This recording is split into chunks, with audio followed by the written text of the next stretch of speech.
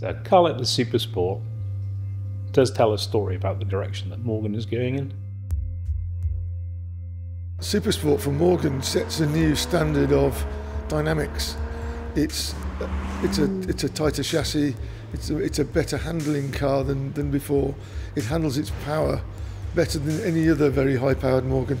So it, it means that it's a it's a genuinely accessible high-performance sports car.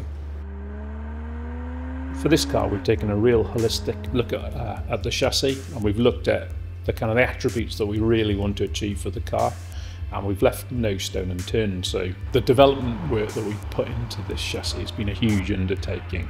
It's been a, uh, it's a massive evolution of the platform. Something like an upright makes a huge difference to the, to the way the car feels because it's all unsprung mass. Um, so that, that makes the car feel more agile, it gives you uh, more feedback as a driver. We've ensured that we haven't made the car too twitchy and we want to make sure that it's, it's comfortable to drive on the road as well as responsive in the twisties. So you take mass out of the car, you need less propulsion, uh, so there's less inertia. As a result, you can have a smaller engine or a bigger engine has an even bigger impact on the, on the car. Lightness in itself makes a car dynamic and nimble, so you don't need a lot of the other aids that other cars have.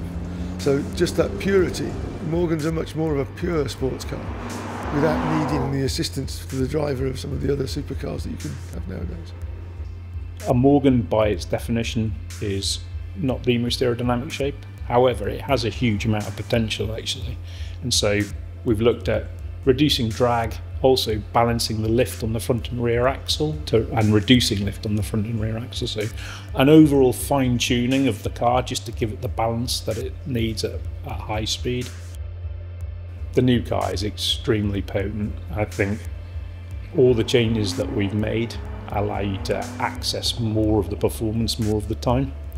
Uh, so yeah, it's uh, it's real fun.